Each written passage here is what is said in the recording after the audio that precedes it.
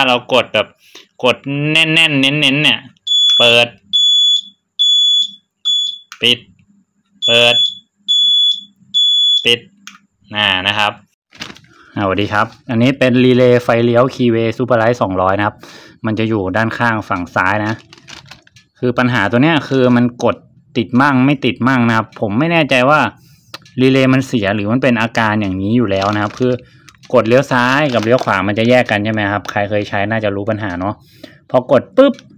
มันก็จะเลี้ยวปี๊ปี๊ปี๊ปี๊พอเราจะกดดับ เราต้องกดอีกทีหนึ่ง แต่ทีนี้กดอีกทีหนึ่งมันไม่ยอมดับ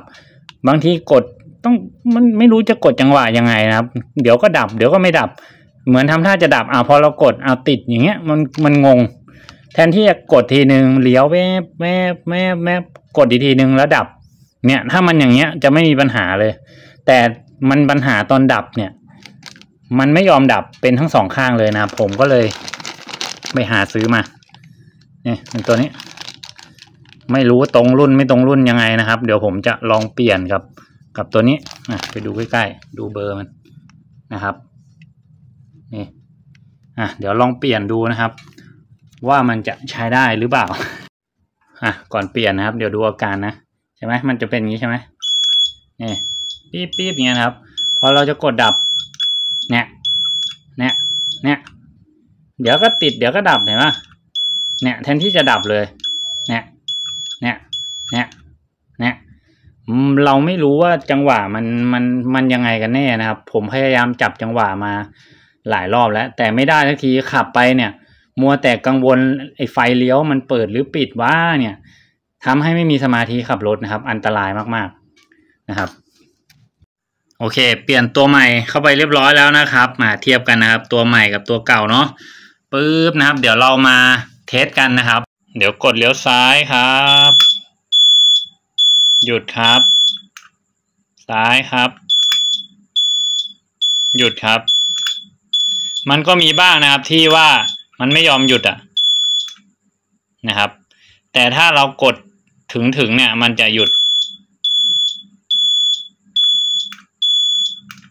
เนี่ย เหมือนต้องกดให้หน้าคอนแทคมันโดนกัน แต่ตัวเก่าเนี่ยผมมั่นใจเลยว่าผมกดหน้าคอนแทคโดนแน่ๆ เพราะผมกดเป็นสิบสิบยี่สิบทีอะมันก็ยังไม่ดับนะครับเนี่ยถ้าเรากดแบบกดแน่นๆ เน้นๆเนี่ย เปิด ปิด เปิด ปิดน่านะครับ ผมต้องการแค่นี้ มันจะว่าวบ้างสักสามสี่ทีไม่เป็นไร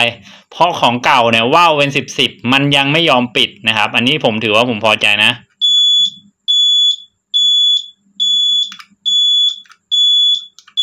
เน้นๆนี่นะครับ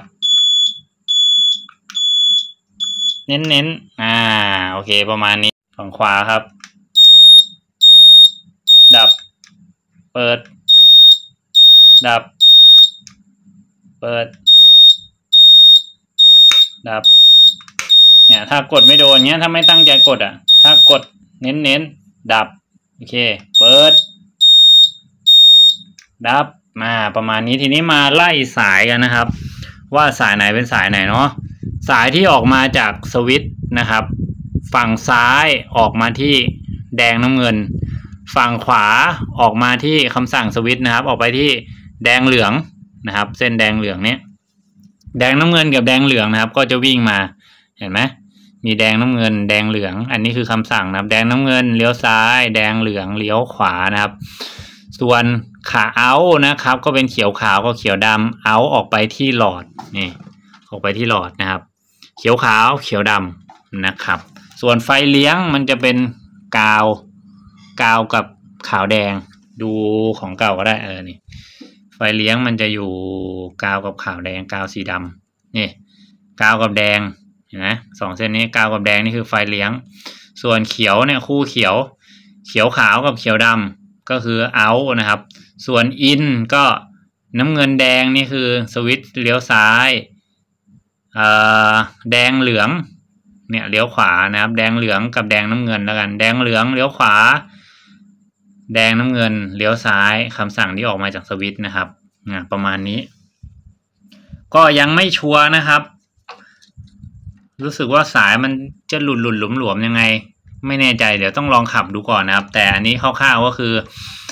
ดีกว่าเดิมนะครับ แต่ยังไม่ได้ลอง test ขับ เดี๋ยวลอง test ขับแล้วถ้า ถ้ายังไม่จบ ผมต้องรื้อระบบไฟเลี้ยวนี้ทิ้งเลยนะครับ แล้วเอาไปใส่ไฟเลี้ยวธรรมดา พวกไฟเลี้ยว Wave ไฟเลี้ยว Sonic ธรรมดาที่มันสวิตช์ซ้ายมือ เลี้ยวซ้ายเลี้ยวขวาแล้วกดตรงกลางดับง่ายๆโง่ๆอย่างนั้นดีกว่า อันนี้แบบอืวุ่นวายวุ่นวายวุ่นวายนะครับทำให้มันยุ่งยากทำไมก็ไม่รู้อะโอเค แต่เพื่อความเท่ใส่อย่างนี้ไปก่อนนะครับ เดี๋ยวเทสแล้วดีไม่ดียังไงค่อยว่ากันคลิปนี้ก็ประมาณนี้ครับ เปลี่ยนรีเลย์ใหม่สำหรับ